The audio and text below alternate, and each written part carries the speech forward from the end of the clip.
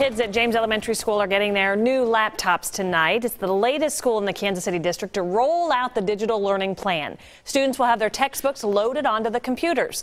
After the laptops are handed out, students and parents will learn more about how they will be used in the classroom. Now, it's important for kids to be careful what they post online. Google is helping local students learn an important lesson in online safety. The company brought their Good to Know Roadshow to Lincoln Prep Academy today.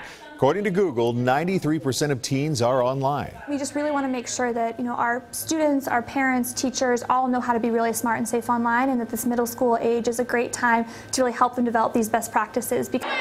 Well, today, these students learned several tips about online safety. They included think before sharing, know and use settings, and avoid online scams.